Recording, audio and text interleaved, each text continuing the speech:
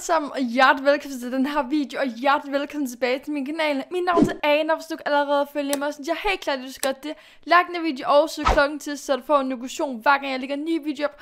Og i dag, der skal vi lave en ny Kipper Hest video, og jeg har ikke særlig mange starcoins, hvilket I nok kan se her. Jeg kan nok ikke købe alle heste, der er på Star Stable, da der er nogen, der koster lidt mere, end hvad jeg har råd til. Så i dag, der skal vi købe en slags genbrugshest, eller hvad man siger. Vi kommer til at købe en hest. Jeg tror, vi finder en flot en på hestemarkedet, fordi de er ikke sådan mega dyre. Og så prøver jeg at finde nogle ting i mit skab, som jeg har, og så lave et flot sæt ud af det. Og så hvis jeg har Starcoins og Jovic Shillings nok, så køber jeg selvfølgelig noget, der er flot. Men øhm, jeg tænker, at vi først lige går hen til mit skab, og så prøver vi at få en fornemmelse af, hvad vi kunne lave et sæt af. Så øh, lad os komme ind til min stald. Jeg tænker umiddelbart, at det vigtigste er, at der er en sort sadel og et sort hovedtøj, at jeg kan få. Det tror jeg faktisk ikke, jeg har, hvis jeg husker rigtigt. Men jeg har en virkelig mange sadeltasker, så vi kan nok finde et sødt dyr. Og jeg har jo også nogle søde dyr, her jeg jo faktisk kunne bruge. Jeg ved ikke, hvorfor jeg ikke kigger i mit skab nogle gange, for jeg har jo rimelig mange ting. Nå, jeg har også en del underlag. Jeg ved ikke, om der er noget, der... Den her, den kunne jeg jo godt bruge. Og så har jeg også et sådan lidt en cremefarvet underlag. Har også et lilla. Jeg har det her brune, det er virkelig flot. Det kunne man godt bruge til noget. Så har jeg også det her, mega sødt. Jeg har også øh, nogle, ja, jeg ved ikke helt, jeg har, jeg har en del forskellige underlag, så jeg tænker, at vi kunne godt finde noget. Måske gå efter noget med grøn, det, det kunne godt blive godt. Og hovedtøj, jeg har, jeg har et sort, så det, det er en god start. Jeg har også et med perler. Uh, jeg har faktisk et flot et, hvorfor har jeg ikke brugt det? Lol. Nå, godt, vi har et hovedtøj, så er det på plads. Og sadler, jeg har, jeg har øh, den her sorte sadel, det kunne faktisk godt gå. Den er faktisk vildt flot, jeg vidste ikke engang, jeg havde den. Jeg har også den her, og så har jeg nogle springsadler, men øh, den kan jeg ikke få på den her fjordhøst, fordi den er for gammel. Og så har jeg også lidt bandage og sådan, så det skal altså nok gå det her. Så øh, nu tænker jeg, at vi tager til hestemarkedet, fordi jeg vil nok højst sandsynligt gerne have en anden sadel, end det jeg har. Jeg ved det ikke helt. Måske også et andet underlag, nogle andre bandager. Måske ja, nu ved jeg, jeg har jo et flot hovedtøj, så jeg kan bruge hovedtøjet, og så kan jeg måske bruge den der sadel, den der stålgrå en, jeg havde. Og så kan jeg måske købe et nyt underlag og nogle nye bandager, hvis jeg har råd. Så nu tænker jeg, at vi tager til hestemarkedet, og så finder vi en, en flot, øh, gammel slags hest. Jeg tænker, de er nemlig sådan rimelig billige. Øhm. Men altså 900 stakkels, det er faktisk rimelig meget. Jeg tænker, at jeg kan få ret mange heste.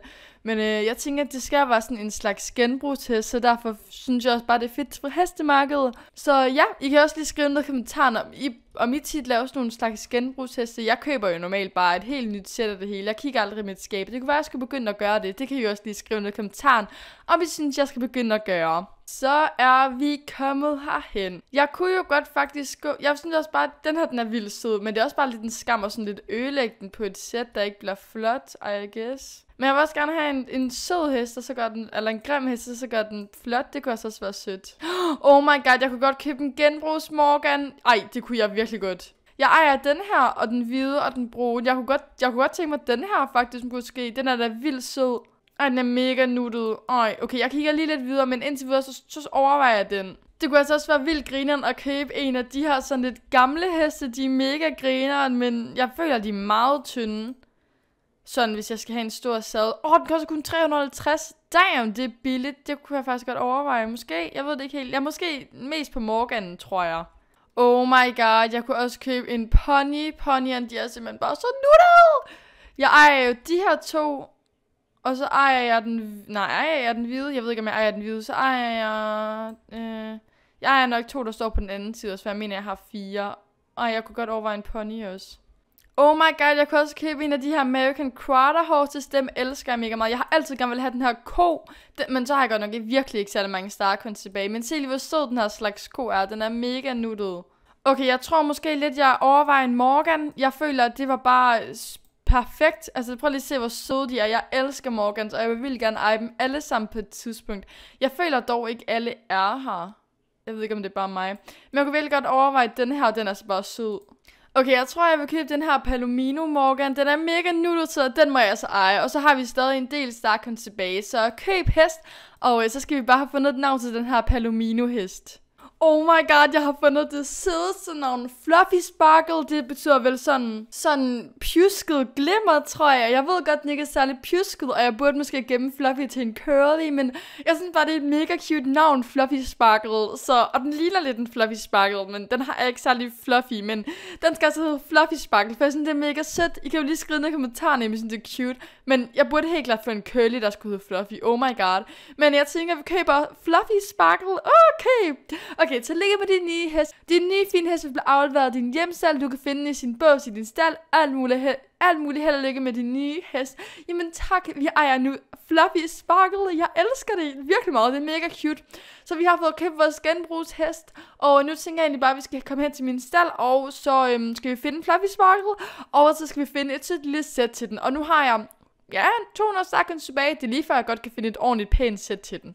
Men det er jo selvfølgelig ikke en genbrugshest, hvis jeg ikke genbruger, så nu føler jeg lidt, at jeg er nødt til at genbruge nogle ting, også fordi jeg har så mange ting. Så jeg tænker måske ikke, at jeg kommer til at købe mega meget. Jeg kommer i hvert fald til at genbruge hovedtøjet og måske nogle sadeltasker og sådan noget. Men det er stadig en genbrugstest, okay venner? Fordi det er det, der har været min hensigt. Oh my god, vi har Fluffy Sparkle her! Ej, hvor den bare mega nuttet. Okay, lad os starte med at se, om der er nogle ting, jeg synes, der er flot til den. Vi kan jo starte med at tage det her hovedtøj, fordi det bliver helt klart det hovedtøj, vi kommer til at bruge. Og lad os bare tage sadlen, så vi genbruger. Vi går ind for genbrug. Woohoo! Jeg tror faktisk godt, jeg kunne tænke mig et kort underlag til den her. Det vil være, det ville være sødt. Det kan også være, at jeg køber et underlag, men så genbruger alt andet. Måske prøve at finde nogle bandager, der vil kunne passe til et eller andet, og så ja, prøve at finde derudfra. Okay, så nu har jeg fundet nogle bandager, hvor jeg ved, at jeg muligvis har nogle forskellige underlag til. Så hvis vi starter med det her, de her bandager, så har jeg det her underlag, der passer til. Men jeg synes, det ser lidt dømt ud, fordi den passer bare ikke til sådan et stort underlag, men alligevel er lidt sødt. Måske jeg har nogle brune sådan sløjfer til, det kunne være sødt. Det ligner ikke, jeg har. Så vi fortsætter til næste outfit, jeg overvejer. Igen et par brune bandager, og så er det med det her underlag. Det ser lidt bedre ud, så den er til videre i min... Øh, den kommer til at få det. Så har vi næste, det er det her grønne et, vi jo købt sidste gang, men der passer underlagene så ikke, så... Men der kunne jeg måske godt give den her på. Nej, nej, nej. Vi har næste, som er de her øhm, haløjser, mega fancy. Jeg ved, jeg har et underlag et eller andet sted der. Wow! Og så ved jeg, jeg har nogle sløjfer til nemlig. Det er derfor, jeg overvejer det. Se lige, hvor sød den kunne være med det her sæt. Jeg er bare ikke så vild med underlaget. Det er sådan så mærkeligt her, men den kunne altså være mega sød med de her sløjfer. Så det er i hvert fald indtil videre faktisk nok det, jeg helst vil have. Så har vi næste sæt med de her sådan lidt øhm, lille bandage. Jeg mener, det er det her underlag, der passer til. Og jeg ved ikke, om der er nogen, om jeg havde sløjfer, der passede til. Det tror jeg ikke, jeg havde. Og så har vi sidste sæt, som er det her fælles men jeg kan ikke huske, om jeg har brugt underlaget. Det tror jeg faktisk, jeg har. Nå, så jeg tror faktisk, at jeg går med det her sæt, selvom jeg synes, underlaget ser lidt, altså det ser lidt kikset ud på den på en eller anden måde. Den ser bare mærkelig ud -agtig. Men øh, måske det bliver bedre, hvis jeg lige ændrer noget på den smagen. Nå, lad os se, om vi kan finde en sød sadeltaske til, fordi vi skal jo genbruge mega meget i dag. Okay, så jeg har den her hvide saltaske, og så har jeg den her, jeg ved ikke, det passer meget sødt med de her regnbuefarver, men ikke til sløjferne, nok mest sådan til bandagerne. Og så overvejer jeg lidt den her sådan lidt uhyggelige grå en. Jeg ved ikke helt, hvad for en det skal være. Jeg kunne også bare gå med den her basic sorte. Jeg tror måske, jeg går med den her med stenene. På nær er det ikke noget med, at der er den er lilla nede i. Jo, men det kunne jeg måske faktisk godt gå.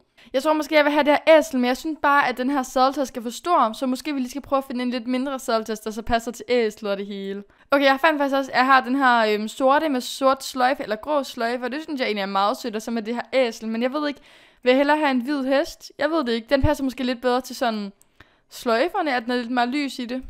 Okay, jeg tror også, at jeg går med den hvide salsa, så jeg tror, det er det her outfit, vi går med til vores genbrugstest. Vi har genbrugt et helt outfit. Jeg er ret stolt faktisk, det må jeg sige. Og jeg synes virkelig også, den blev sød. Men øh, jeg tænker også lige, at vi skal ud og ændre den smagen, fordi jeg er så ikke særlig vild med, at den har den her hængemagen. Jeg mener ikke, at mine andre øh, Morgans har... Uh, der er flaske. Nu når vi snakker om genbrug. Sådan der. Perfekt.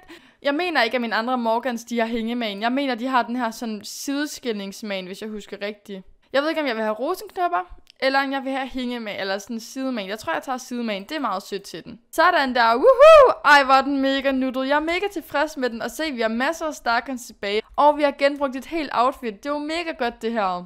Og så finder jeg også lige skrald her. Ej, hvor dejligt. Skal vi lige se, om vi kan bytte noget hos hende her? Yay, det kan jeg. Jeg kan opgradere den. Yay. Woohoo. Tak. Farvel, Bonnie. Og oh, der er noget mere genbrug her. Uh, wow, wow, wow. Okay. Min hest skulle flyve. Sejt. Nå, men nu ikke mere pjatte rundt. Nu skal vi ned og se den stejlige gangarter, og jeg elsker Morgan. Jeg synes, den er helt igennem cute og fantastisk. Hvis vi starter med dens parade, den er egentlig meget fin. Den står bare og kigger mega sødt. Prøv lige kig på dens ansigt. Ej, den er så mega nuttet, den her pony. Jeg elsker den. Og så ryster den på hovedet. Ej, den er bare så flot. Hvis vi tager den tilbage til altså den er okay. Altså, den er god nok i forhold til, at den er gammel, den her hest. Kigger lidt tilbage, men ikke voldsomt. Og så ser dens ører, de bevæger sig frem og tilbage. Det er mega cute, og den går forsigtigt. Jeg kan faktisk godt lide den tilbage Den ser mega nuttet ud. Den skridt super fin. Hun er meget stiv her ved overkroppen, eller sådan benene og sådan. Altså hun faktisk hele hende, den er mega stiv. Hun sidder bare der mega stiv som et bræt. Men altså, igen, gammel hest, så der er også bare nogle animationer, der ikke har været med her med rytteren. Dens trav, jeg elsker dens trav. Prøv at se de der ører. Du, du, du, du, du, du, du, du. Og det er mega sødt, og så er den bare mega nuttet, og jeg elsker den mega meget. Prøv lige at kigge på den. Ah! Og hvis vi tager galop, den skal den også fint. Igen, hun sidder meget stift. Jeg ved ikke lige helt hvorfor. Men den er mega sød. Den galopperer bare afsted. Og ja, den, altså, den ben knækker lidt, men det er også en gammel hest. Og jeg elsker den stadigvæk, fordi Morgans er mega søde. Så der vi tempoet lidt op igen. Den er også mega sød, den her galop. Den er godt nok meget mærkelig med forben. Jeg ved ikke lige, hvad der sker med dens forben. Øhm, men dens hoved er sødt, og prøv lige at se. Den ser mega afslappet ud i øjnene. Den er bare sådan, oh yeah. Ej, hvor den sød. Jeg elsker dens øjne. Oh my god. Øh, men alt i alt, den er super fin. Og hvis vi sætter tempoet fuldt op, så er den bare klar til race og vinde med mig. Det kan være, det skal være min champhest, hvis ikke Hugh han bliver min champhest. Men øh, ja, den er, den er meget sød. Det kan jeg godt lide. Og den sprams, jeg er ikke så vild med den sprams. Jeg ved virkelig ikke, hvad der sker med dens hoved. Dens hoved går fuldstændig op. Prøv lige at se det der øh øh, øh, øh, øh, over det hele. Det er jeg altså ikke særlig vild med. Øhm, den, ja, jeg ved heller ikke lige, hvad der sker for dens ansigtsudtryk. Prøv lige, jeg prøver at se, om jeg kan fange det på billedet, men det ser godt nok dumt ud. Prøv, hvad, altså, hvad, hvad er det her? øhm, what is wrong with your face? Den er, den er meget øhm, øhm, anderledes. Ja, okay. Og lad os se den style en gang her. Den style, den er meget fin. Altså, jeg ved ikke lige, hvad rytteren laver. Hun læner så godt nok meget tilbage. Hun, ja, du kunne måske lænde lidt mere op mod hals, men altså, gamle animationer, øh, det er okay, det er okay, det er okay, jeg accepterer, accepterer. Det er meget fint. Alt i alt er det en mega sød hest. Og lad os så tage den spring en gang her. Jeg elsker den spring. Jeg brugte den altid som springhest. Yes, Den er mega sød at springe på. Hun læner så godt frem. Hun falder lidt ned i halsen på den dejligt. Det, det gør nok ondt i næsen, hver gang hun rammer ned i hovedet på den. Og så, ja, jeg kan godt lide den spring. Den springer mega godt, og jeg synes bare, det hele fungerer. Jeg elsker Morgans. Jeg ejer fire, fem nu. Ejer fem, jeg ved ikke, hvor mange jeg ejer. Du kan lige gå ned i kommentarerne og skrive, hvor mange Morgans du ejer. Og hvis du ikke ejer nogen, så burde du købe nogen, fordi de er mega søde. Men jeg vil egentlig bare sige tusind tak, fordi du gad til med i den her video. Husk like, subscribe og så klokken til, så du får en notifikation hver gang jeg lægger en ny video op. Og så ses vi egentlig bare i næste video. Hej hej.